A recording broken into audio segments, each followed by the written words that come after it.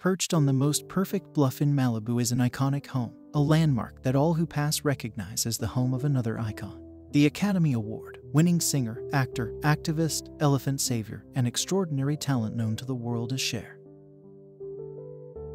The house itself is another of her many accomplishments. Today, it is a Zen like sanctuary filled with museum quality Asian art and custom made furnishings. But the story of this magnificent edifice starts way before I got to play within its walls. It took years for Cher to discover the perfect Malibu location, an idyllic spot, as it happens, that she had driven past countless times and purchased in 1998.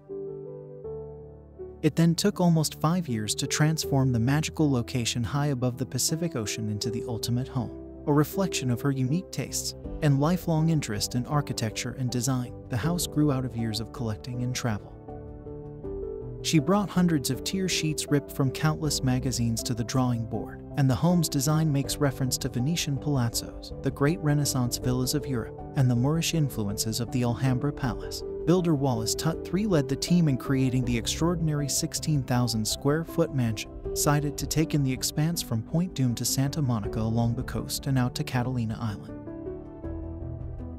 From sunrise to sunset, the huge picture windows offer stunning vistas. Every room has two different views of the ocean, Cher says. This house wraps its arms around you, the finest materials were employed limestone and marble imported from Italy and France, hand wrought bronze doors, and custom hardware and tiles from Spain and Morocco. An 18th century Venetian marble balustrade was purchased from William Randolph Hearst's collection at San Simeon. Cher originally worked with designer and longtime friend Ron Wilson, and the house has been filled with her own personal touches since the start. Talented artists painted the ceilings with Eastern motifs, hand distressed mirrors to create walls of reflective magic, and crafted romantic Moroccan style lighting that warms the home. The raw silk clad walls and drapery in the bedroom were stenciled using a mixture of tea leaves and coffee grounds blended with umber paint pigments to recreate traditional henna designs once painted on Cher's hands during a wedding she attended in India.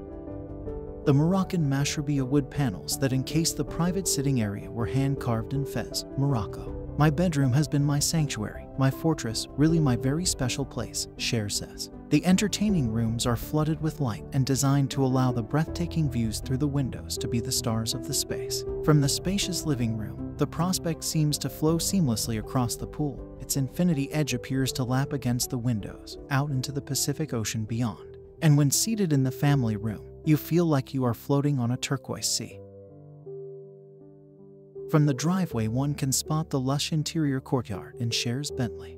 Cher's astrological sign, Taurus, inspired the choice of the vintage bronze bulls that sit outside the entrance. The property's grand entrance features limestone block walls, custom bronze doors, and carved panels from Rajasthan, India. The bronze candlesticks were purchased at London's Guinevere Antiques, and the lantern is from Berber Imports.